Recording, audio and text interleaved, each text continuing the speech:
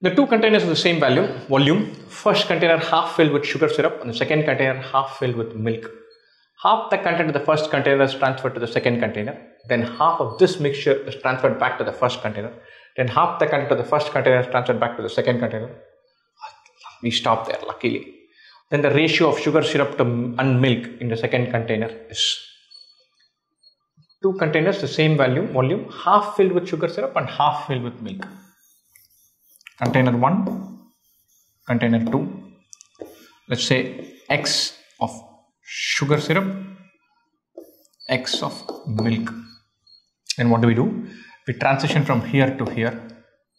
When we do that, at step 2, this will become sugar and milk. Sugar will become x by 2, no milk. Sugar is to milk. Sugar will become x by 2, milk continues to be x. And then we shift from here to here. So what will get added? This is first shift is done. Second shift, when we do this, half of x by 2 will get added here, x by 4.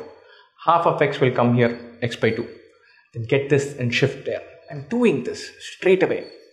I notice that I'm going to deal with x, x by 2, and then x by 4, maybe x by 8, one more step. I'm thinking about this and saying, look, this is, I'm, I'm dealing with this 1 by 2 business. Going to simplify this. Say, all remains the same. Container 1, container 2.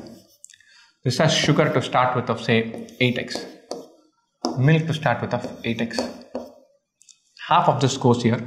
So step 1, step 2, step 3. I'm going to track sugar is to milk, sugar is to milk. After the first transfer is made, this becomes 4x and 0.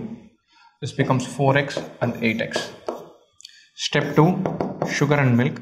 From 4x and 8x, half and half come here. Same ratio it will come back to. 4x by 2 is 2x. Sugar will become 4x plus 2x, 6x. Milk will become 8x by 2, 4x.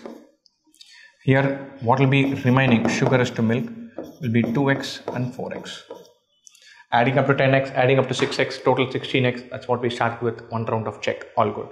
Now what do we do? We send from here to there. 6x will become 3x, 4x will become 2x. Sugar to milk, 2x plus 3x is 5x, 4x plus 2x, 4x plus difference 2x is 6x.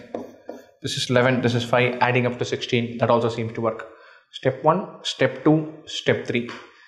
Ratio of sugar to milk in the second container at the end of this 5 is to 6. Done. Not too difficult. We have to do it methodically. It really helps. We take the first two numbers to be 8x and 8x and not x and x.